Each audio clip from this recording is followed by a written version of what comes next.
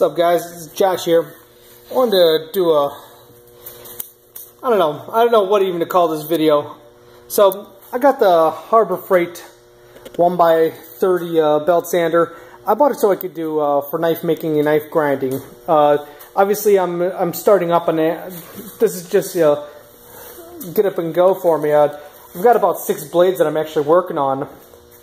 But, yeah, this guy is, uh, the, this one actually is my, uh, Ka-Bar inspired chef's knife, uh, but again, it's going to be an interesting piece. More belly to it. It's got a lot of belly to it, just like a German style, uh, German style chef's knife. Uh, but yeah, I was actually putting in, uh, I honestly I can't remember what that's called. My mind's going blank right now. But uh, again, all right, I'm not here to talk about that knife. I'm here to talk about the one by 30 and why I don't like it for knife making. So I bought this thing thinking I'm like, all right, this is what everybody says they start off with this thing. Why? Because it's cheap. Thing was what, $35? Uh, really, it's, it's, it's not that bad. You know? So why you're you're probably gonna wondering if you guys are trying to start up too. Why why not buy this machine?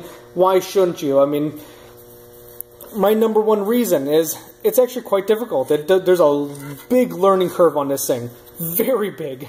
Uh, so much that I actually got frustrated stopped with that and went a completely different direction with the way I was actually making knives. But, for example, guys, put on your you know eye protection. Yeah, my wife calls it PPE, know, personal protective equipment. Uh, I don't know how many people use that. Hell, heck, even in my shop, I don't even use that term. But uh, apparently, that's big in uh, a lot of other uh, industries.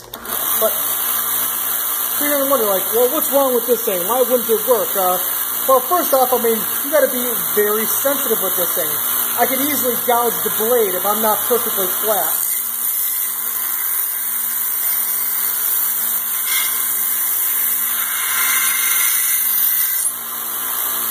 It's going to take me a long time. It took me a very long time just to try not to gouge and get waves and just and even try to stay, you know, try to keep it flat on flat on the belt. But even for my bevels, I was having a hard time with the.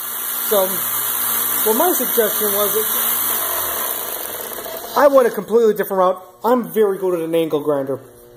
So, this is going to show you what I thought was easier for me. So, I saw these uh, Harbor Freight, uh, you know, uh, knife uh, holders or tool holders, whatever you want to call them. Uh, I tested out with uh, tested one. Watch this. I mean, glues itself to this table. So I was like, all right, well, let's start with this. How am I going to keep this knife held down? How am I also going to keep it semi-flat? I mean, if I clamp it, the blade steel tends to bow wherever you place your clamp. So uh, I, I, attempted to clamp and clamping was trouble. So then I was like, you know what, let me try one of these. Then I found out neither one of these are perfectly flat. Obviously, this is not meant to be a precision piece of equipment. So I ran a sander over it, you know, block, you know, block of sand just to try to level them out, get them even. But this is what I found was easier for me to operate. Uh, it's basically a car polisher. This is DeWalt car polisher pretty much. Very slow speed. This is nowhere in the same class as this 1x30. This is a very expensive piece of equipment. Obviously, we're getting into the hundreds now, but still, for the hundreds compared to, you know, this was, for me, I felt this was easier, but this thing is only, uh, let's see if I get a zoom in on this. Where is it? Uh, 2300 RPM. Seriously, guys, that is slow. That is unbelievably slow. Um, yeah, what is this other grinder running? I think it's uh, 9,000 RPM or something. 10,000 RPM on this thing. Let's get that to focus. Come on, big guy. This is 10,000 RPM. This is a 4.5 inch angle grinder. Uh, standard Harbor, Harbor Freight issue, you know, paddle switch. But I originally tried starting with this, tried throwing on the speed control onto it to try to get the gear itself down just because I wanted slower speed. 10,000 was just way too fast. Uh, you could over temper, overheat a blade instantly. Again, do I care about overheating? Probably not yet. I have this blade, this knife hasn't even gone out for tempering yet. So I guess it really doesn't matter if I detemper it. But uh, again, once I actually got this guy dialed down low enough and slow enough to where it was use, usable, the motor didn't have enough juice to keep itself running. It would stall instantly. I mean, it would just, any type of pressure would just instantly stall it. So then I went back looking again. I'm, I'm very comfortable with an angle grinder. I'm very good with one. Uh, it's just it's part of my it's the industry I'm from. I'm a metal worker. I've been running an angle grinder for the past you know geez you know 15 years now. So this guy, 2300 RPM, goes nice and slow. What I was basically doing was starting at the butt of the knife, at the hilt,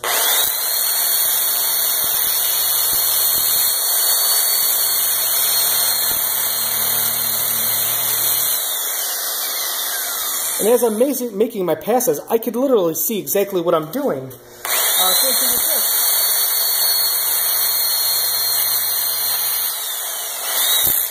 Now for my bevels, my bevels I was actually offsetting it or I actually bring it over to an end. That way I have full use. Let's get this camera better in frame. Full grind from tip to end. So pretty much I'm just starting on this end. Again, starting slow.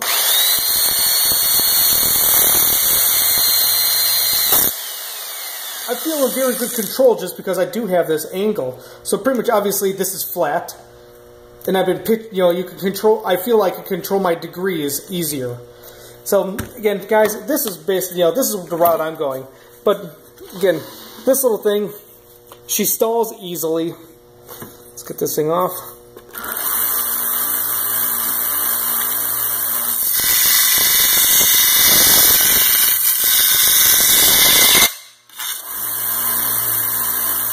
I really can't put the pressure I want on this thing to do to do what I want.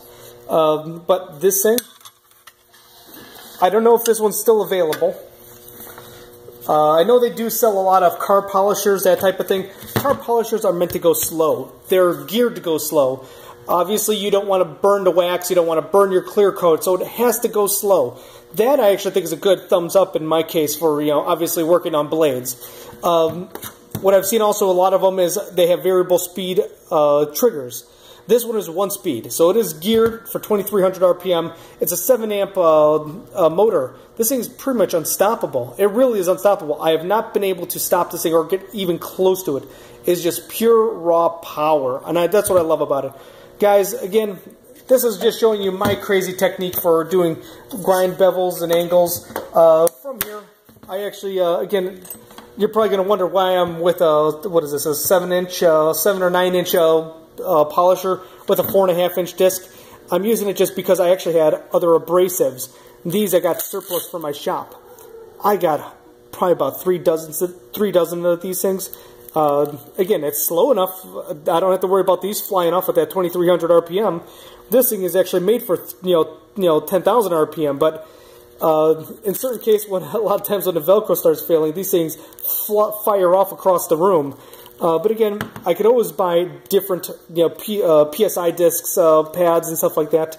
I could pretty much start stepping it down to whatever I want. Again, and that's what I was. Again, I'm basing this off of what I'm used to. Guys, thank you very much. If I hopefully this was helpful for you. Uh, it's not. This is not a bad machine. It's a nice startup machine. there's definitely a use for it in my little shop. I mean, obviously. Um, I can't, uh, I can't, you know, sand, as this thing's stuck to the table, I can't sand those ends as easily. It is always easier to work on a table, you know, to do contours. So, obviously this thing is not, it's not horrible, but for general grinding, I prefer the angle grinder. Guys, thank you very much for watching. Please give me a thumbs up if this was helpful.